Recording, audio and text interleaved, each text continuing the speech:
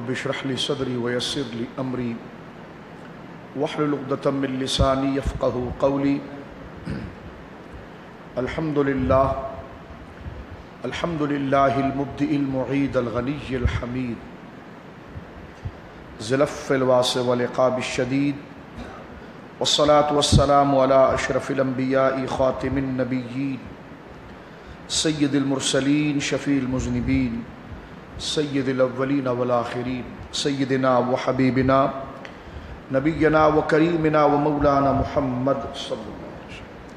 عبده ورسوله بالهدى ودين الحق أرسله أما بعد فأعوذ بالله من الشيطان الرجيم بسم الله الرحمن الرحيم هو الذي بعث في الأميين رسولا منهم يتلو عليهم آياته ويزكيهم ويعلمهم الكتاب والحكمة وإن كانوا من قبل لفي ضلال مبين آمنت بالله صدق الله العظيم.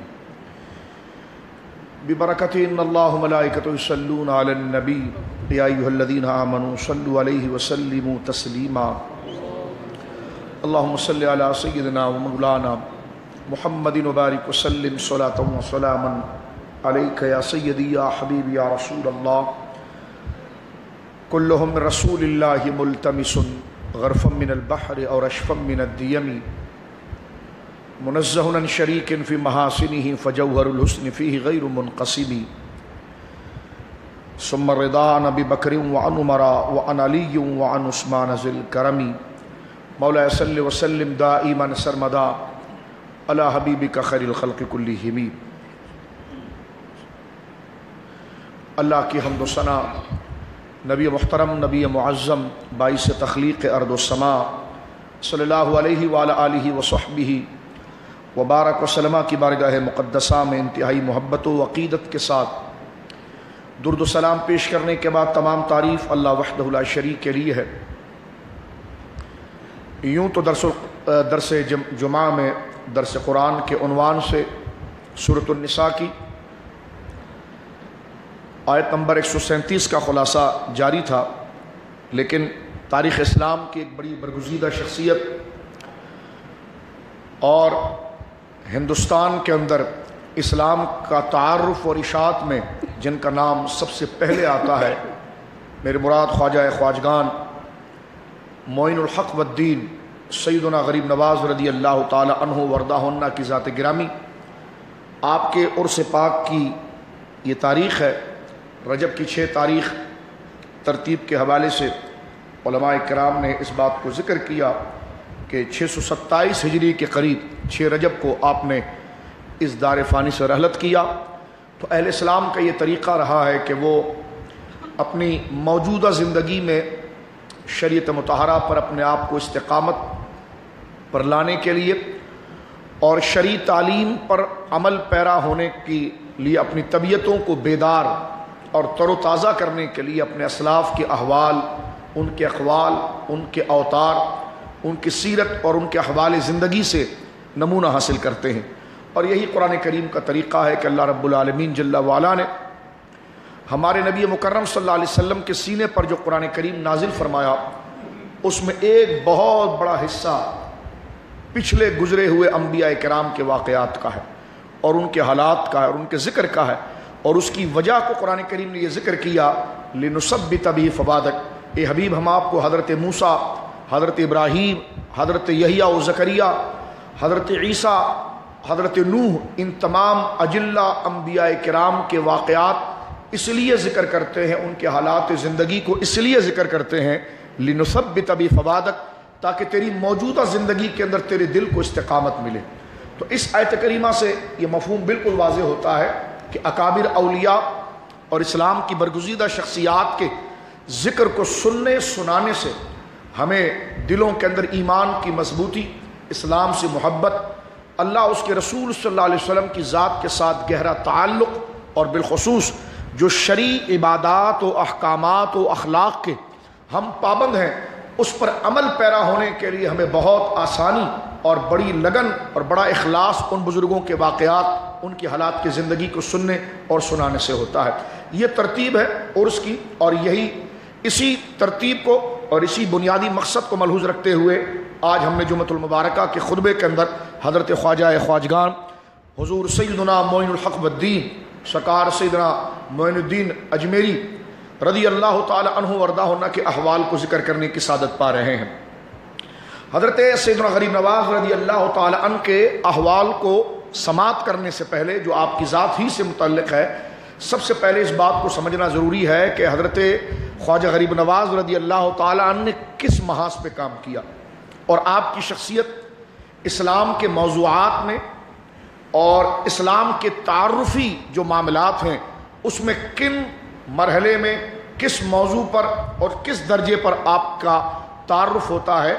اور آپ نے کس خاص شعبہ اسلام کے اوپر خاص توجہ عطا فرمائی اور اس کو زندہ کیا، اس کا تعارف کرایا اور اس سے قرآن و سنت کی جو تعلیمات ہے اس کی اشاعت کے اندر آپ نے کوشش کی۔ تو سب سے پہلے اگر ہم اللہ رب العالمین کا قرآن اور نبی پاک کی حدیث کا مطالعہ کرتے ہیں، تو قرآن مجید اور احادیث کریمہ اور آثار صحابہ اور تابعین کا اگر ہم مطالعہ کرتے ہیں، تو ہمیں خاص شرع شعبہ وہاں نظر آتا ہے۔ جس کو تزکیہ کہا جاتا ہے۔ قرآن میں جگہ جگہ پر یہ لفظ ذکر کیا گیا ہے، تزکیہ۔ احادیث میں یہ لفظ آتا ہے، تزکیہ۔ صحابہ کرام اور حضرات تابعین کثرت سے اس کا ذکر بھی کرتے ہیں اور اس سے ملنے والی اس موضوع اور اس عنوان سے ملنے والی ہدایات پر بڑی سختی کے ساتھ جمتے ہیں، جس کو کہا جاتا ہے تزکیہ۔ سورہ جمعہ کا اگر آپ مطالعہ کریں گے تو آپ کو پتا چلے گا کہ نبی پاک صلی اللہ علیہ وسلم کو جن بنیادی کاموں کی تکمیل کے لیے اور جن بنیادی کاموں کی اشاعت کے لیے، جن بنیادی کاموں کی تبلیغ کے لیے اور اللہ کے بندوں کو، جن بنیادی باتوں کو سمجھانے کے لیے اللہ نے بھیجا ہے، وہ چار ہیں اور ان میں سے ایک چیز تزکیہ ہے۔ پہلے اس کو سن لیجیے، پھر میں تزکیہ کا معنی آپ کی خدمت میں کرتا ہوں تاکہ ہمارے سامنے بات آ جائے کہ یہ موضوع قرآن و سنت ہی سے مستخرج ہے۔ سورہ جمعہ کے اندر اللہ رب العالمین نے ابتدا میں ذکر فرمایا، هو الذی بعث فی الامیین رسولا بے شک ہم نے ان پڑھ لوگوں کے درمیان اپنا عظیم رسول مبوس کیا۔ یہ قرآن نبی کریم علیہ السلاۃ والسلام کو بھیجنے کی غرض یعنی ہمارے ذہنوں میں سوال پیدا ہوتا ہے نا کہ نبی کو کیوں بھیجا گیا؟ حضور کیوں آئے؟ اور حضور علیہ السلاۃ والسلام نے کن شعبہ جات پر کام کیا؟ اور نبی محترم صلی اللہ علیہ وسلم کی تعلیمات اور آپ کے عطا کردہ شعبہ جات کے اہداف کیا ہیں؟ اس کے موضوعات کیا ہیں؟ اس کے بنیادی سبجیکٹ کیا ہیں؟ تو سورہ جمعہ کے اندر ابتدا میں اللہ رب العالمین اس بات کو ذکر کرتا ہے کہ هو الذی، اللہ وہی ہے بعثا جس نے بھیجا، فی الامیین ان پڑھ لوگوں میں، رسولا اپنے کامل رسول کو۔ وہ رسول کیا کرتے ہیں؟ چار کام کرتے ہیں۔ منہم یتلو علیہم آیاتی جو اللہ کی آیات ہیں، جو اللہ کی نشانیاں ہیں، جو اللہ کے احکام ہیں، اس کی وہ تلاوت کرتے ہیں۔ نمبر ایک۔ دوسرا کیا کرتے ہیں؟ وہ ان کا تزکیہ کرتے ہیں۔ نمبر تین۔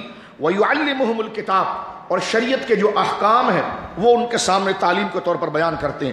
وہ اور اس سے متعلق جو حکمت اور دانائی ہے، اور بالخصوص اس سے متعلق عمل اور جو دلائل کا ایک زبردست سمندر ہے کہ جو ان احکام کو مضبوط کرتا ہے، اس کو بیان کرتے ہیں۔ یعنی چار چیزیں آ گئی اس میں کہ پہلی چیز، نبی کون ہے آیات کی تلاوت کرتے ہیں۔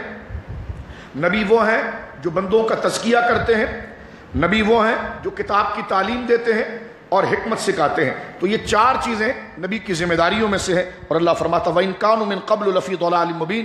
ہمارے نبی کی اس بات کو بتانے سے پہلے اور اس بات سے پہلے تم کھلی گمراہی کے اندر تھے، لیکن ہم نے تمہیں گمراہی سے نکال کر ہدایت کے سائل پر لانے کے لیے ان پڑھ لوگوں کے اندر اور خدا سے جو دور ہیں اور خدا سے جو ناشنا ہیں، ان کو خدا سے آشنائی دلانے کے لیے ہم نے کامل رسول کو ان چار بنیادی موضوعات کی شاعت، تبلیغ اور اس کے تحفظ کے لیے روانہ کیا ہے۔ اب آپ دیکھیں سورہ جمعہ کی اس آیت سے پتا چل گیا کہ نبی پاک صلی اللہ علیہ وسلم کے منصب نبوت میں اور منصب تعلیم میں چار بنیادی موضوعات اور پورا قرآن اسی کو ڈسکس کرتا ہے، اسی کو ذکر کرتا ہے۔ اور ان میں جو بنیادی چیز ہے، وہ تزکیہ ہے۔ تزکیہ جس طرح میں عرض کر رہا تھا آپ کی خدمت میں کہ قرآن و سنت اور صحابہ کے اقوال میں یہ لفظ بہت زیادہ استعمال ہوتا ہے۔ تزکیہ۔ تزکیہ کا معنی کیا ہے کہ اپنی طبیعت کو انسان اپنی طبیعت کو، اپنی نفوس کو، اپنے باطن کو، اپنے مزاج کو، اپنی عقل کو، اپنی چاہت کو اچھے اخلاق کے ساتھ وابستہ کرے۔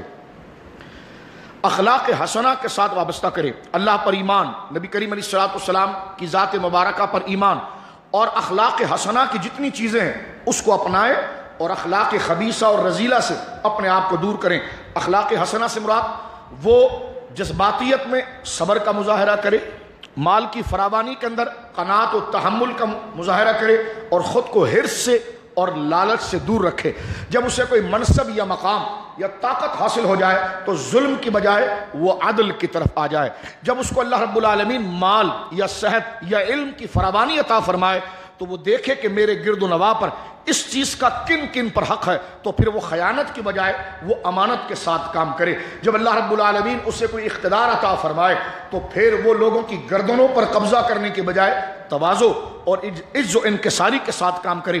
اور جب دین کی حقانیت کے لیے یا حق کے پیغام کو عام کرنے کے لیے جب کسی دشمن کے سامنے کھڑا ہو جائے تو اس میں بزدلی دکھانے کے بجائے وہ شجاعت کا مظاہرہ کرے اور مال کو خرچ کرنے کے اندر، غریبوں کی حقوق کی ادائیگی کے اندر وہ بخل اور کنجوسی کے بجائے سخاوت اور فیاضی کا مظاہرہ کرے۔ تو یہ جو اچھی باتیں ہیں، وہ اخلاق حسنہ کے اندر آ جاتی ہے اور جن چیز کو چھوڑنے کا حکم دیا گیا ہے، وہ اخلاق رضیلہ ہے۔ تو تزکیہ کس کو کہتے ہیں؟ تزکیہ کا معنی ہے صاف ستھرا کرنا، جس سے زکوٰۃ بھی اسی سے بنتا ہے۔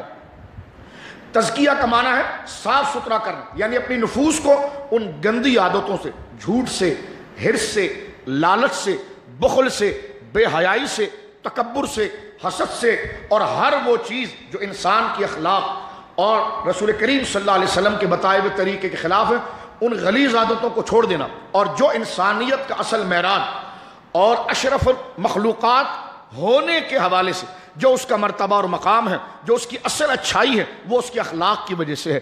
وہ اس کے چہرے کی رنگت یا سیائی کی وجہ سے نہیں ہے۔ وہ اس کے ذات پات کے فرق کی وجہ سے نہیں ہے۔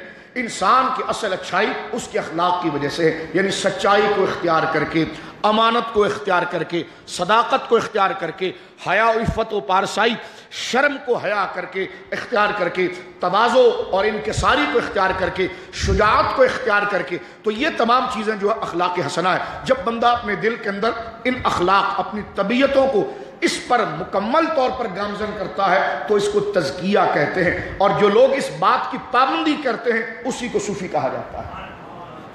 حضرات صوفیہ، کہ صوفی کس کو کہتے ہیں؟ اس کی دو ہزار سے زیادہ تعریف ہیں وقت ہمارے پاس اتنا نہیں ہوتا کہ تمام کا احاطہ کیا جائے، لیکن خواجہ صاحب کی زندگی کے احوال کو اس مختصر سے وقت میں بتانے سے پہلے، جس محاذ پر آپ نے کام کیا، جو آپ کا منصب تھا، جو آپ کا موضوع تھا، جو آپ کا سبجیکٹ تھا، اس کا میں تعارف آپ کو کرا رہا ہوں۔ تو ایک اور تعریف ہمیں توجہ کے ساتھ سنیے کہ بخاری شریف کے اندر آتی ہے صوفی کے حوالے سے تزکیہ کے حوالے سے۔ تزکیہ کا ایک معنی یہ بھی ہے، جس طرح اخلاق کا میں نے بات، اس کو مزید کلیئر کریں گے اور اس کو مزید فائن کریں گے تو اس کا معنی کھل کے یہ آتا ہے کہ ہر کام اپنے رب کی رضا کے لیے کرنا۔ یعنی طبیعت کو اس بات کی طرف لانا، نفس کو اس بات کی طرف لانا، چاہے اس پر مشقت کرنی پڑے، چاہے اس کی مخالفت کرنی پڑے، چاہے اس پر جبر کرنا پڑے، لیکن خواہشات، نفس بمانا خواہشات۔ ایک معنی کے اعتبار، کیونکہ نفس کے بھی کئی معنی ذات کے بھی ہے، شے کے بھی ہے، علت کے بھی لیکن جو یہاں پر نفس کا معنی بیان کیا جا رہا ہے کہ یا یا نفس المطمئنہ، کہ تو نفس سے مراد وہ خواہشات، نفس سے مراد خواہشات۔ تو اب تصوف کا ایک خاص معنی جو اس بنیادی بات کے اندر نکھر کے سامنے آتا ہے، وہ یہ کہ اپنی خواہشات کو، اپنی طبیعت کو اندر سے اٹھنے والی چاہت کو اور کسی کام کو کرنے کے لیے جو جذبہ، جو تحریک پیچھے سے اس کام کو ابھارتا ہے، اس کام کو برائی کی طرف سے بچا کر اخلاق حسنہ کی طرف لانا۔ مراد کیا؟ کہ اپنی طبیعتوں کو اس بات کا عادی بنانا، خوگر بنانا، اس بات پر راضی کرنا کہ ہر وہ وہ کام کرے اور اسی کی خواہش کرے جو اللہ کو پسند ہے۔ اور اس چیز سے وہ دور رہے جو اللہ رب العالمین جل والا کو پسند نہیں۔ تو طبیعتوں کو اب میں آپ کو بتا رہا ہوں، ہاتھ کو نہیں، منہ کو نہیں، زبان کو نہیں، پیچھے جو جذبہ آ رہا ہے، جس کو نیت کہتے ہیں ان بن نیات میں سمجھتا ہوں کہ اگر ٹریفک کا شور آپ کے ذہنوں سے نکل گیا ہوگا تو آپ میری باتوں پر توجہ کریں گے۔ وہ جمعے تک پہنچنے میں آپ کو کئی ٹریفک کے مراحل اور کئی جگہ سے ہو کر آنا پڑتا ہے تو ٹائم بھی ہمارے پاس بیس پچیس منٹ کا ہوتا ہے۔ تو یہ پچیس منٹ تو صرف آپ کے ذہنوں کو صاف کرنے میں لگ جاتے ہیں کہ جناب جو آپ پورا ایک ہنگامہ دنیا کو طے کر کے یہاں پر آئے۔ لیکن ذرا اپنے آپ کو کلک کریں، تھوڑا جلدی فاسٹ ہو جائیں اور اس چیزوں کو چھوڑیں۔ آپ اس وقت درس سن رہے ہیں، خواجہ صاحب کی زندگی کو سمجھ رہے ہیں۔ تو اس پر ذرا توجہ رکھ کر اپنے چہروں پر سناٹا نہ لائیں، اپنے چہروں کے تاثرات کو تھوڑے ظاہر کریں کہ میں اردو زبان میں آپ سے بات کر رہا ہوں تو بات آپ کو سمجھ میں بھی آ رہی ہے۔ اب ذرا غور کریں۔ یہ انتہائی مشکل موضوع ہے، لیکن میں اس کو سادے انداز میں آپ کے سامنے پیش کرنے کی کوشش کر رہا ہوں۔ یعنی تزکیہ کس کو کہتے ہیں؟ صوفی کس کو کہتے ہیں؟ صوفی اس کو کہتے ہیں جو تزکیہ کرتا ہے۔ تزکیہ کیا ہے؟ کہ اپنی طبیعت کو طبیعت کو سمجھ رہے ہیں آپ؟ طبیعت کا معنی ہاتھ ہلانا نہیں ہے۔ طبیعت کا معنی زبان کھولنا، طبیعت، مزاج اس کو کہتے ہیں جو ہاتھ ہلانے کے لیے کس، جو جذبہ، مثال کے طور پر ہمارے اندر پہلے ایک جذبہ پیدا ہوتا ہے کہ یہ کام کر، پھر ہم اس کے لیے ہاتھ بڑھاتے ہیں۔ تو وہ جذبہ، وہ نیت، وہ انٹینشن، وہ پیچھے فکر اور وہ تحریک جو بندے کو عمل کی طرف ابھارتی ہے، اس کو نفس سے بھی تعبیر کیا جا سکتا ہے۔ خواہشات حق اور خیر سے بھی تعبیر کیا جاتا ہے، تو اولیاء وہ ہوتے ہیں، تزکیہ وہ ہوتا ہے، جس کے سارے مسلمان پابند ہے کہ وہ اپنی طبیعت کو ایسی صحبتوں میں رکھے، ایسے لوگوں کی سنگت میں رکھے، اپنے مطالعے کو اتنا شائستہ رکھے، اپنی آنکھوں کو اتنا پاکیزہ رکھے، اپنے دماغ کی زمین کو اتنا سترا رکھے کہ اس کے اندر سے وہ غلیظ چاہت پیدا نہ ہو، جو رب کی نافرمانی کی طرف لے جائے، بلکہ ایسے سترے ماحول کے اندر، قرآن و سنت کے ماحول کے اندر، دینداری اور متدین ماحول کے اندر رکھے، تاکہ خارج سے جو مسائل اس کے اندر جائے، جو اس کی طبیعت کا حصہ بنتے ہیں، تو جب بھی اس کو کسی کام کرنے کے لیے خواہش برنگیختہ ہو، تو وہ خواہش وہی ہو جس کو رب چاہتا ہے۔ اسی کو کہا گیا انم العمال بالنیات، کہ اعمال کا دار و مدار جو ہے، وہ نیتوں کے اوپر ہے۔ تو یہ جو خواہشات اور اپنے باطن کو راضی کرنا اللہ کے لیے، اس کو ایک حدیث پاک سے بھی سمجھا جا سکتا ہے۔ اور وہ بڑی مشہور حدیث حدیث جبرائیل، جس کو کہتے ہیں۔ نبی پاک صلی اللہ علیہ وسلم کے دنیا سے پردہ فرمانے سے چھ دن یا پانچ دن پہلے حضرت جبرائیل نبی پاک کے پاس آئے تھے اور انسانی شکل میں آئے تھے۔ بڑی طویل واقعہ ہے۔ اور سرکار دو عالم صلی اللہ علیہ وسلم کے پاس بیٹھ کر انہوں نے حضور سے پانچ سوالات کیے تھے۔ اور پانچ سوالات کے جوابات حضور سے مانگے تھے۔ اور جس میں ایک سوال یہ تھا، مل احسان یا رسول اللہ؟ احسان کیا ہوتا ہے؟ اے نبی مکرم صلی اللہ علیہ وسلم، احسان۔ الف حاسین الف نون۔ احسان تو نبی پاک صلی اللہ علیہ وسلم نے جو احسان کی تعریف کی ہے وہی تصوف ہے۔ حضور نے جو احسان کی اب تعریف کی ہے جو میں آپ کے سامنے بیان کروں گا کہ جبریل نے پوچھا تھا، حضور احسان کیا ہوتا ہے؟ تو جو احسان کے فلسفے اور حقیقت پر عمل پیرا ہوتے ہیں، وہی صوفی ہوتے ہیں، وہی اولیاء ہوتے ہیں۔ بلکہ وہی عمل نہ کریں، ہر مسلمان اس کا پابند ہے کہ وہ اپنی طبیعتوں کو احسان کے درجے پر لائے۔ احسان کس کو کہتے ہیں؟ تو جبریل نے جب نبی پاک صلی اللہ علیہ وسلم سے پوچھا تھا کہ مل احسان یا رسول اللہ، حضور احسان کیا ہے؟ تو نبی پاک صلی اللہ علیہ وسلم نے ذکر فرمایا، ان تعبد اللہ کانک تراہ کہ جب تو نماز پڑھے تو اس حالت میں پڑھ کہ تو تو اللہ کی عبادت کرے، کوئی بھی عبادت کرے، تو ایسے کر جیسے تو خدا کو دیکھ رہا ہے۔ احسان کیا ہے؟ فرمایا، احسان ایک حضوری کی کیفیت ہے۔ تیری طبیعت کے اندر ایک حضوری ہو کہ تو کس کے حضور حاضر ہے اور تیرے سامنے کون موجود ہے؟ فرما، اپنی طبیعت کو اتنا بیدار کرنا، اتنا شفاف کرنا، اتنا روشن کرنا۔ فرمایا کہ احسان یہ ہے کہ انتعبد اللہ کانکا تراہ۔ جبریل، احسان اس کو کہتے ہیں کہ تو رب کی عبادت اتنے خالص انداز میں کر، اتنے انہماق کے ساتھ کر، اتنے کنسنٹریشن کے ساتھ کر، اتنی توجہ کے ساتھ کر کہ غیر خدا تیری نظروں سے فانی ہو جائے، صرف تجھے خدا نظر آئے۔ فرما، اتنا اخلاص تیرے اندر ہو جائے۔ اور پھر یہ شان تو کس بڑے اعلیٰ لوگوں کا نصیب ہوتی ہے کہ وہ ایسے عبادت کرے کہ جیسے وہ براہ راست خدا کو دیکھ رہے ہیں، جس طرح کہ بلا تشبیح ہم کسی دفتر میں کسی آفیسر کے سامنے جاتے ہیں۔ تو ہمارا آفیسر کے سامنے جب ہم جاتے ہیں، تو بڑے تمیز سے ہم کرسی پر بیٹھتے ہیں۔ بڑے تمیز سے اپنی درخواست، اپنی فائل، اپنا مقدمہ پیش کرتے ہیں۔ کبھی میں اور آپ غور کریں کہ ہمارے اندر اتنی تمیز کیسے پیدا ہو جاتی ہے؟ اتنا رکھ رکھاؤ کیسے پیدا ہوتا ہے؟ کیونکہ ہمارے ذہن میں یہ ہوتا ہے کہ سامنے یہ موجود ہے۔ یہ ہماری ہر حرکت کو دیکھ رہا ہے۔ اس لیے ہمارے بیٹھنے کا انداز ایسا بے ڈھنگا یہ بے آہنگ نہیں ہوتا جیسے ہم گھروں میں کھلا ڈھلا بیٹھے ہوتے ہیں، بلکہ اس آفیسر کے سامنے موجودگی کی بنا پر ہم بڑے سمٹ کے بیٹھتے ہیں، بڑے ادب کے ساتھ بیٹھتے ہیں، بڑے ناس کے ساتھ بیٹھتے ہیں، بڑے اخلاق کے ساتھ، اور اپنی سانسوں کے تحت اپنے بدن کو سمیٹ کر کہ کوئی ایسی بچکانا اور بے ڈھنگی حرکت نہ ہو جائے جس سے یہ ناراض ہو جائے، اور اپنی فائل پیش کرنے کا طریقہ، گفتگو کا طریقہ سب ہمیں آ جاتا ہے۔ لیکن یہ سلیقہ، یہ اخلاق یہ طریقہ آتا کب ہے؟ جب ہم اس کو سامنے یقین کرتے ہیں کہ وہ ہمارے سامنے بیٹھا ہے، تو بلا تشبیح عبادت کے اندر بھی یہی ہے۔ فرما، احسان کیا ہے؟ فرما، رب کی عبادت یوں کرو جیسے تم اس کو دیکھ رہے ہو۔ تاکہ تمہارے اٹھنے، بیٹھنے کی حرکت خود بتائے کہ یہ بندہ اللہ ہی کے لیے عبادت کر رہا ہے۔ اس کی نظریں ادھر ادھر نہیں بھاگ رہی۔ اب میں اس کو اور مختصر کرتا ہوں۔ نبی پاک صلی اللہ علیہ وسلم فرمایا، اگر کسی کے اندر یہ کیفیت پیدا نہ ہو، کسی کی معرفت اور روحانیت اور درجہ اتنا بلند نہ ہو کہ وہ براہ راست اس منظر پر پہنچے تو فرما پھر یہ یقین کر کے عبادت کر۔ فائن لک فائن لم تکن ترا فائن نہ یرا اگر تیری یہ کیفیت نہیں کہ تو اس کو دیکھ رہا ہے، تو اپنی طبیعت کو اس طرف لے کر آ کہ وہ تجھے دیکھ رہا ہے۔ تو یہ ہے احسان کی کیفیت۔ اس کو جو پختہ کرنے والا اس کے پابند ہر مسلمان، ہر کلمہ پڑھنے والا اپنی عبادت میں ریاکاری سے بچنے کے لیے اس کیفیت کو پیدا کرے کہ میرا رب مجھے دیکھ رہا ہے۔ اگر میں اس کیفیت اس درجے پر نہیں کہ میرا رب مجھے دیکھ رہا ہے، تو ہاں یہ ضرور میں میں اپنے رب کو دیکھ رہا ہوں۔ اگر میں اس درجے پر نہیں، تو یہ حقیقت ضرور ہے کہ میرا رب مجھے دیکھ رہا ہے۔ تو یہ دیکھنا اور مشاہدے کی حقیقت جو ہے، وہ بندے کے اندر اخلاص پیدا کرتی ہے۔ گرد و نوا کے جھمیلے دل سے ہٹ جاتے ہیں۔ نیت خالص اللہ کے لیے ہو جاتی ہے۔ اور اسی اسی اسی فکر کو پکانا اور اسی کی مشق کرنے کا عنوان اور اس کا نام ہے تزکیہ۔ عرب کے اندر قرآن و سنت کے حوالے سے وقت ہمارے پاس تھوڑا مختصر رہ گیا، ورنہ میں اس پر اور بات کرتا۔ شریعت کی تعلیم دو اعتبار سے، ایک ریاست پر بیٹھے ہوئے لوگ، حکمرانی، جس کو ظاہری بادشاہی کہتے ہیں، جس کو باقاعدہ عربی زبان میں، قرآن میں بھی لفظ موجود ہے، ملک۔ ملک ملک کہتے ہیں ظاہری بادشاہی کو، اور ملکوت کہتے ہیں باطنی بادشاہی کو۔ تو ملک ہے ظاہری بادشاہی، اور ملکوت ہے باطنی بادشاہی۔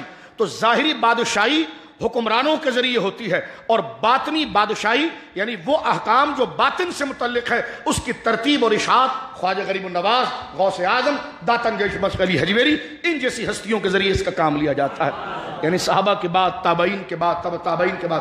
تو اب آپ کو سمجھ میں آ جانا چاہیے کہ صوفیہ کن کو کہتے ہیں؟ صوفیہ ان اخلاق پر اور اپنی طبیعتوں کو اخلاص اور محض اللہ کی طرف اپنی توجہ کو لے جانا اور ہر قسم کے وہ گندے اور ناپاک خیالات جو رب کی مرضی کے مخالفت پر آتے ہیں، اتنی قوت اپنے اندر پیدا کرنا کہ اس کو جھڑک دینا اور ہدایت کے راستے کی طرف آنا کہ طبیعت کرے کہ نماز نہیں ہو رہا۔ ہے تو اس میں اتنی جرت ہو کہ وہ اس گندے خیال کو جھڑکے اور مؤذن کے اذان پر فوراً بستر چھوڑ کر کھڑا ہو جائے۔ تو طبیعت کو حق اور ہدایات اور رب کی فرمان برداری کی طرف اٹھانے کا نام تزکیہ ہے اور جو یہ کام کر گزرتے ہیں، اس کو صوفی کہتے ہیں۔ تو یہ میں نے آپ کے سامنے جو بہت الفاظوں میں اور معنی میں الجھی ہوئی بحث ہے، میں نے چند سادے الفاظ میں آپ کی خدمت میں پیش کرنے کی کوشش کی۔ اب میں آخری چند جملے آپ کے سامنے چند منٹوں کے اندر پیش کرنا چاہتا ہوں کہ سرکار خواجہ خواجگان غریب نواز رضی اللہ تعالی عنہ اسی شعبے کو تعارف دینے والے اور اس کی اشاعت کرنے والے عرب کی دنیا کے اندر جب اسلام کا کام پھیلا تو سب سے پہلے مرکز کیپٹل ریاست کے حوالے سے مدینہ منورہ بنا۔ اس کے بعد حضرت مولا مرتضیٰ کے دور مبارکہ کے اندر کوفہ بنا۔ اس کے بعد دور بڑھتے بڑھتے بغداد معلہ کو ایک بہت بڑا شرف حاصل ہوا۔ بنو عباس کے دور کے اندر، بنو عباس جنہوں نے تقریباً ساڑھے چار سو سال زمین پر حکومت کی اور باقاعدہ خلافت کے نظام کے حوالے سے انہوں نے خلافت چلائی۔ قریشی لوگ تھے یعنی امیر المومنین کی اصطلاح کے ساتھ اور دولت اسلامیہ کی اصطلاح کے ساتھ، اسلامی حکومت اصطلاح کے ساتھ۔ اس طریقے سے تقریباً بنو میہ کے بعد ساڑھے چار سو سال، چار سو سال تک بنو عباس کی یہ حکومت چلی۔ لیکن جب بدعملیاں اور بد اخلاقیاں بد کرداریاں کرپشن اور شریعت کی مخالفت یہ جب بڑھ گئی تو وہ اسلامی حکومت ٹوٹنا شروع ہوئی۔ یہاں تک کہ حال یہ ہوا کہ لوگ اب عرب کے خطے سے نکل کر عجم کی طرف آنا شروع ہوئے۔ عجم کا علاقہ کون سا؟ ماوراہ النہر، سمرقند، بخارا۔ یہ ایران کی پوری پٹی جو افغانستان تک جاتی ہے۔ عرب کے بعد یہ جگہ اسلام کا مرکز اور اولیاء کا مرکز بنی ہے۔ آج موجودہ ایران اور افغانستان، یہ پٹی صالحین کی، حضرت داتا صاحب یہاں سے تشریف لائے۔ حضرت سیدنا غریب نواز رضی اللہ تعالی عنہ وردہ کے اجداد یہیں سے متعلق تھے۔ حضرت غوث اعظم رضی اللہ تعالی عنہ وردہ کا خاندان یہیں سے متعلق تھا۔ یعنی عرب سے لوگ ان کی بدعملی، انتشار، افتراق، فرقہ واریت، اختلاف، دہشت گردی، اس کو چھوڑ کر اس سے بچ کر ان علاقوں کی طرف آئے، جس کو بعض خاص اصول کے اندر ما وراہ النہر یعنی نہر کے اس طرف کا ایک خاص اصطلاح ہے، وہاں کی طرف لوگ آئے، جس کو آج ایران، افغانستان اور تاجکستان، آذربائیجان، یہ جو خطے ہیں، یہ اولیاء کے مراکز بنے۔ میں یہاں پر عرض کرنا چاہتا ہوں کہ عرب کے اندر، بغداد معلہ میں جب اسلام کی شاعت کا زور کم ہوا، تو دوسرا مرکز عرب کے بعد ہندوستان بنا، اسلام کے لیے۔ یوں تو محمد بن قاسم اموی، یہ تو پہلے آ چکے تھے، لیکن ان کے دور کے اندر اتنا زور نہیں مل پایا۔ ہندوستان کے اندر جتنا زور ہونا چاہیے تھا۔ لیکن سب سے پہلے جو ہند کی سرزمین پر پاک و ہند کی تقسیم سے پہلے، جس کو ہندوستان کہا جائے ہندوستان کی سرزمین پر سب سے پہلی شخصیت جو جلوگر ہوئی حضرت سیدنا خواجہ ابو محمد چشتی رحمہ اللہ تھے، جو حضرت داتا صاحب کے سلسلے میں داداؤں کے دادا مرشد ہیں۔ یہ وہ شخصیت ہے کہ جب یہ ہندوستان کے اندر آئے تو چار سو اکیس ہجری میں محمود غزنوی رحمہ اللہ نے چار سو اکیس ہجری محمود غزنوی رحمہ اللہ کا وصال کی تاریخ ہے۔ لیکن اسی کے لگ بھگ چار سو اکیس ہجری کے لگ بھگ حضرت محمود غزنوی رحمہ اللہ نے جب ہندوستان پر حملہ کیا اور سومنات اور یہ جوناگڑھ کا علاقہ جو تاریخ ہند کے اندر کفر کی ایک بہت بڑی عمارت تھی اس کا نام بہت بڑا تھا۔ محمود غزنوی رحمہ اللہ نے حضرت سیدنا ابو محمد چشتی، جو خواجہ صاحب رضی اللہ تعالیٰ کے پردادا پیروں میں سے ہے، وہ سب سے پہلے چشتی ہے جنہوں نے ہندوستان کے اندر قدم رکھا۔ ان کی دعا، ان کے مشورے کے ذریعے محمود غزنوی نے ہندوستان کو فتح کیا۔ سلطان محمود غزنوی رحمہ اللہ نے ہندوستان کے اندر فتح کی بنیاد تو رکھی، لیکن باقاعدہ ریاست بنا دینا، باقاعدہ ڈپارٹ بنا دینا باقاعدہ زمینوں کو تقسیم کر دینا، باقاعدہ اس میں درجے اور ضلع بنا دینا، یہ سلطان کو ٹائم نہ مل پایا اور وہ لوٹے اور غزنی کے اندر ان کا انتقال ہوا۔ لیکن بالکل اسی تدبو کے اندر جہاں سید ابو محمد چشتی رحمہ اللہ کی دعا اور فیضان نظر سے یعنی میں یہ کہنے میں حق بجانب ہوں کہ ہندوستان کے اندر اسلامی انقلاب لانے والا سلسلہ سلسلہ چشتیہ ہے۔ عرب کے اس سراؤنڈنگ کے علاقے کے اندر انقلاب لانے والا سلسلہ سلسلہ قادریہ ہے۔ ہندوستان کے سلسلے میں اگر آپ دیکھیں گے تو اونچی اکابر جنہوں نے ہندوستان کی تاریخ کو بدل دیا، کفر کو اسلام کے نقشے پر بدل دیا، لوگوں کی پیشانیوں سے زنان کو ہٹا کر سجدوں کے نور سے ان کی پیشانیوں کو منور کر دیا، دلوں سے کفر کی تاریخی کو نکال کر ایمان کے نور سے جن کے سینوں کو منور کیا، وہ سلسلہ عالیہ چشتیہ کے اکابر سے خدا نے اشاعت دین کا یہ کام لیا۔